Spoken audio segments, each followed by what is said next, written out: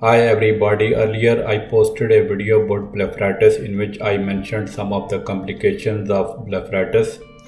And out of these uh, complications today I am discussing the two complications which are very common and these are sty and chalazion and this video of mine is about the uh, differences between sty and chalazion I mean how you differentiate uh, on clinical examination.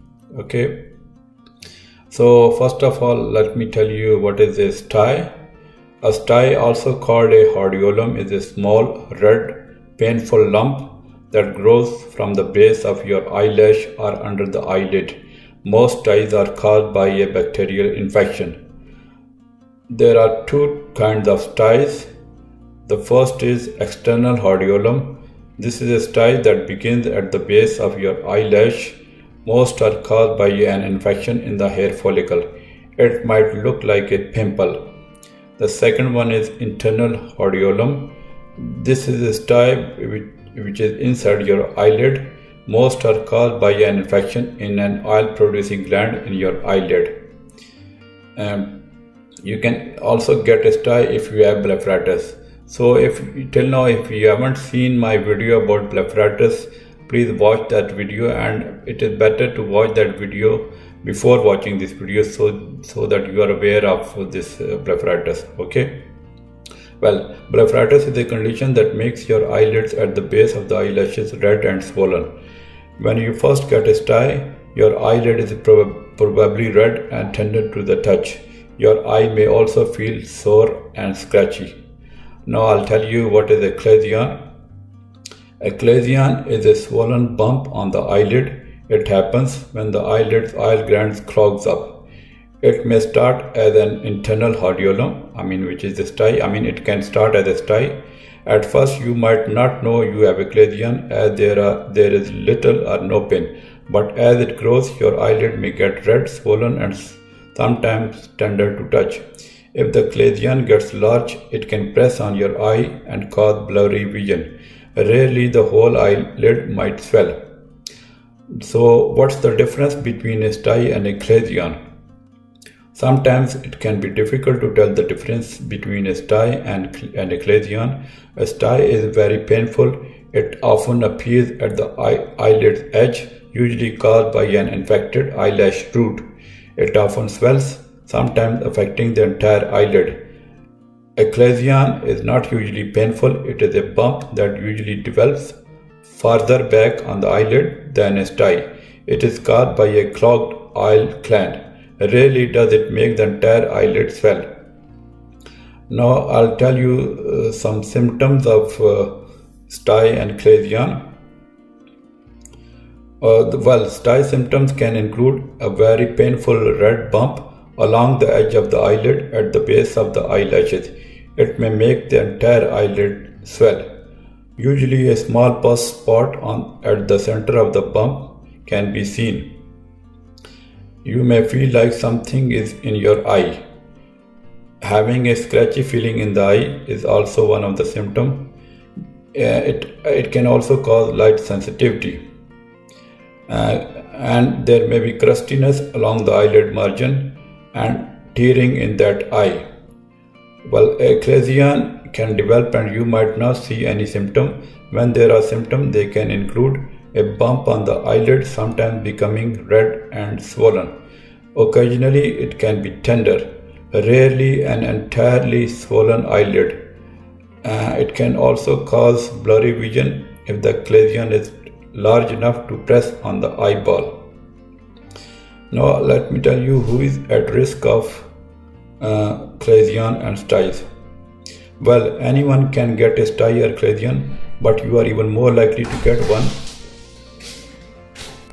So I was telling you that anyone can get a sty or chalazion, but you are more likely to get if you have blepharitis, uh, which I told you earlier, and there is a video about that also in my channel, Hube Tabibi. Well, blepharitis is a problem that affects the edge of your eyelid. Also, there is a, an, an increased risk if you had a sty or chalazion before. Then there is a skin condition such as acne rosacea or seborrheic dermatitis. that may be also a risk factor for sty. If you are suffering from diabetes or other medical problems, that can also be a predisposing factor for sty and chalazion. Now I'll I'll tell you uh, something about I mean treatment of sty and chalazion. Uh, the, the uh, well there are some ways to treat uh, your sty and chalazion and the first and most important is warm compresses.